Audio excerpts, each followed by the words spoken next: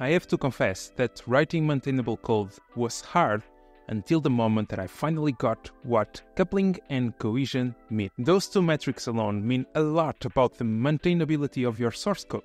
And that's why it's so important to know them well. And that's why in this video I will explain what is coupling and cohesion, why should we care, where coupling happens inside of our systems, and how to improve our code to be loosely coupled and cohesive. Coupling and cohesion are two extremely important metrics, and the interesting thing is that they have a relationship between each other and you need to achieve a given level of balance between them in order to have your system in harmony. And you might have heard that we need a system that is loosely coupled and high cohesive. What will we gain with that? So, at first, the code will be easier to maintain because code is co-located, so same concepts or concepts related will stay together so they can change together. But also, extremely important, the flexibility by having a system that is cohesive and loosely coupled, you can be sure that you can refactor internals without affecting the rest of the system. You can swap a complete module without impacting the whole system. So as you can see, those two metrics alone are extremely important for maintainability. But now let's dig deeper. Let's start by talking about coupling. Coupling is one of the concepts that I talk on my new Clean Code course, but we'll talk more about that later. So, what is coupling? Coupling is a metric that says how much two parts of our systems depend on each other. By that description, if we think about our systems as modules, you can think about coupling as a kind of like if two different modules need to depend on each other to work, coupling is that. And one thing that is important to know is that we always have coupling. We strive to reduce the level of coupling, but we can't avoid it and that's why we refer to coupling as loosely coupled to tightly coupled, or sometimes we might say low coupling and high coupling. Any of those terms mean the same thing. So it's like if you were turning a knob and you want to move it to the low part. Because when we are in the max level, when we have high coupling, we are in a big ball of mud, for sure and we want to avoid that, so you want to turn the knob to the other side. That's our goal. If this description didn't make sense, let's try with an analogy. Imagine a restaurant kitchen.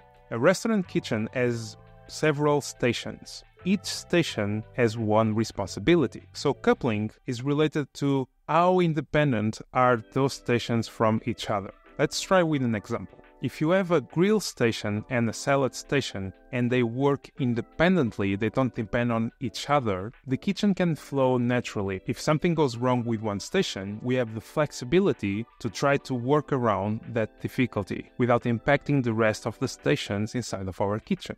However, if our grill station depends on our salad station, what might happen is that a delay or a problem that happened, a given mistake, will delay the complete flow of the kitchen. And that will impact not only one client table, but it might impact several tables in our restaurant. So we'll deliver a poor experience to our clients. And all of that will lead to unsatisfaction either on the clients, but also inside of the kitchen because it will create a lot of stress. The same happens with software that dependency between stations, often you see that between classes, between modules. But we can't talk about coupling without mentioning cohesion. And what is cohesion? While coupling will measure how different modules of our system, different classes, relate to each other, they connect to each other, cohesion is about one of the classes alone, is how the internals of that class work together, how well they fit, if they have the same goal.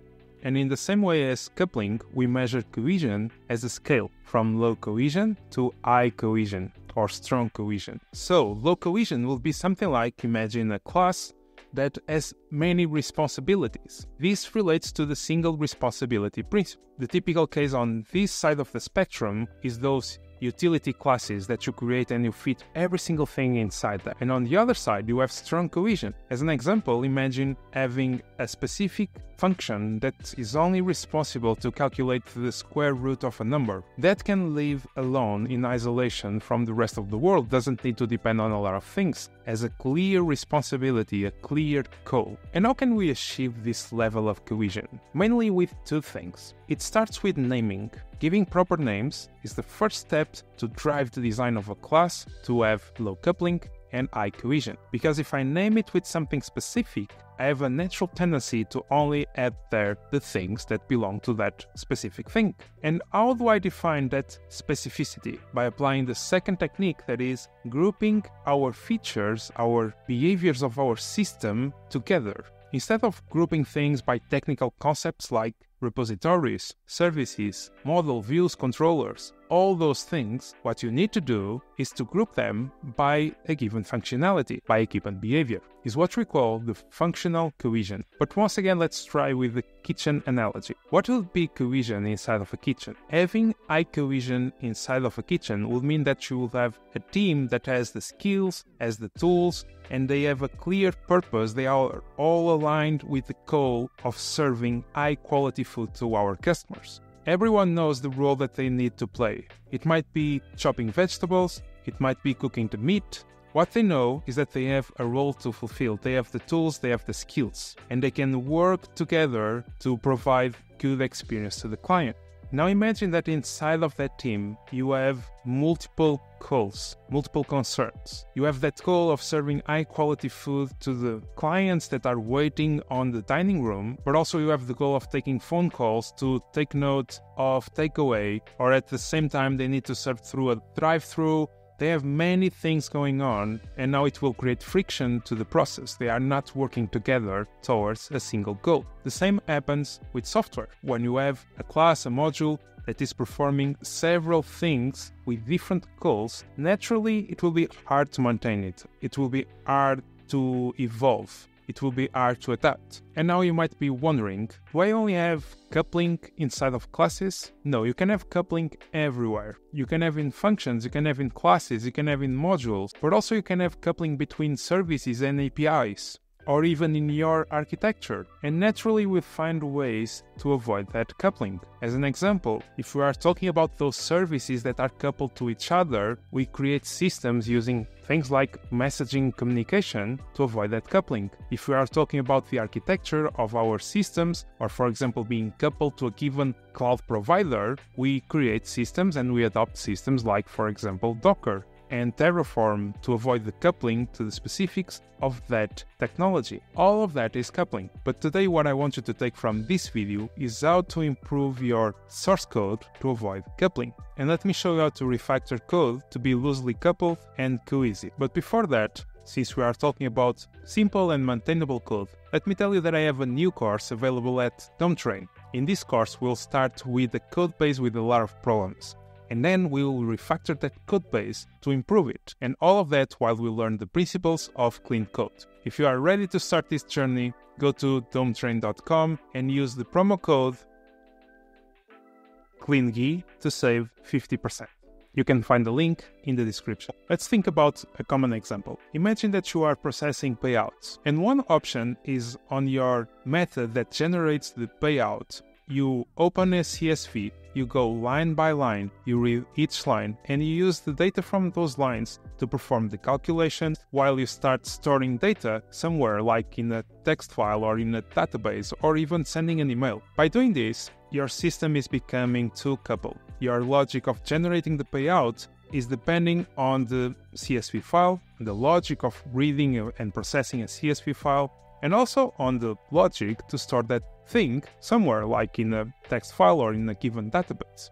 But we can refactor this system to be loosely coupled. And how can we do that? We basically refactor our source code as a kind of like a pipeline where we have multiple responsibilities and where each component doesn't need to know the implementation of the other one, the next one, or the previous one in order to perform its task. If you have a first task that collects the data and provides the data to the calculation, and the calculation provides the data to an output generator, and it doesn't know type of generator that it is, you have that loosely coupled system. That means that you can easily swap the implementation of, for example, the reader. If you now need to collect data not from a CSV file, but from an API or from a database or from an Excel file, you can do it. Or if now you want to output the data to a PDF, you can do it as well. And you can achieve this by applying several techniques, like the following ones. The first technique starts with design of our classes. One way to improve the source code is by moving functions to the place where the data lives on. So instead of having a function working with properties and data from a different object, we can move that function inside of that same object. Another technique that we can apply is to often provide two functions instead of providing an object providing the data needed. We can also apply design patterns like the facade or factory, but more than that, the dependency injection principle is an excellent way to avoid having a highly coupled system. Because when you use inversion of control, what will naturally happen is that you will depend on a contract, on an interface, instead of the real implementation. You can also use data structures to help you achieve this level of interdependency between different modules of your application. One example might be using something like a queue in the middle of two objects that depend on each other.